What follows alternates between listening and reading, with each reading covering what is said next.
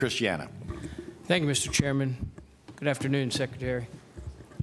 Secretary, over here.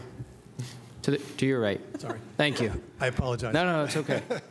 Um, in, the, in his budget address, the governor stated that this budget would be, will, could be funded, quote, without any tax increases on Pennsylvania families.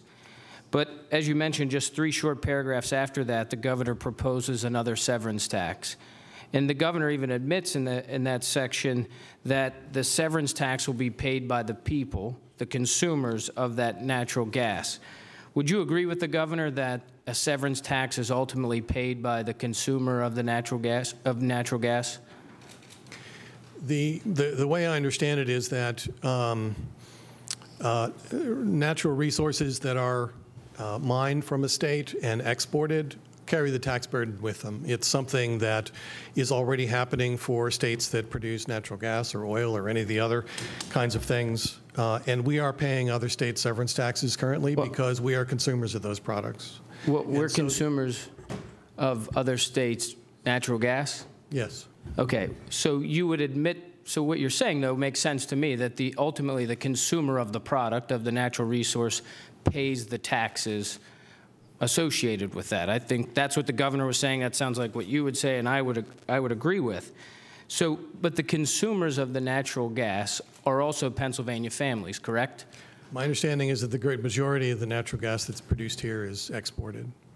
Okay, but, so then you would agree that whether the governor's number of 20% is accurate, 20% is consumed within Pennsylvania, Pennsylvania families using natural gas would be paying uh, a severance tax that they're currently not paying, which would ultimately be an increase on Pennsylvania families, correct? I think that the governor's statements have been about avoiding broad-based tax increases, sales tax and income tax.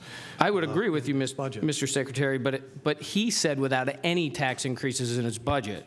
So uh, while I would agree with you that he didn't say, he could have said without a broad-based tax increase, but what he's saying is that this budget could be balanced without any tax increase on Pennsylvania families. And what you and I seem to agree on is that some of the natural gas consumed in Pennsylvania would bear the burden of a severance tax. Therefore, can we just say that Pennsylvania families will pay higher taxes to fund this budget if this budget relies on severance tax revenue? I think that, uh, again, the great majority of that revenue will come from out-of-state consumers, uh, and that the impact on Pennsylvania families should be minimal. Oh, okay. Can we talk about the amount of revenue anticipated from the governor's severance tax proposal? How much revenue do you anticipate coming into the Treasury uh, in, in budget year 2018-19 from the governor's severance tax proposal?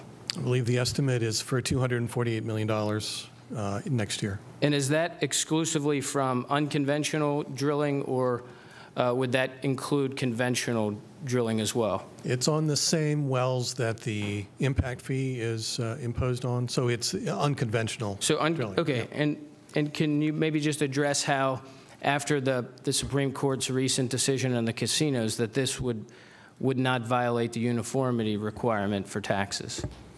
Well, I'm not a justice of the Supreme Court, but um, the, uh, the impact fee has stood the test of time at this point.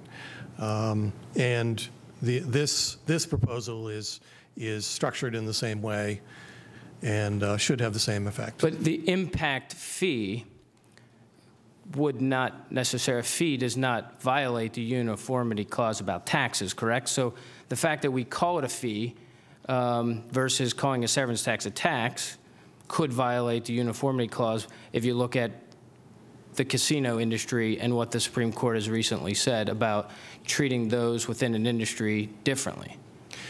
For, um, for those legal issues that have to do with um, the uniformity clause, the, the question that would go to court would be, uh, is there a rational basis to distinguish one class from another class? And so in this case, the question would be, is there a rational basis to distinguish uh, these uh, unconventional wells from other types of wells. I think you can, you know, the, the legislature has decided that there is uh, that there is a rational distinction between those two types of things. Do you, do you think that there's a rational distinction between those two? I do.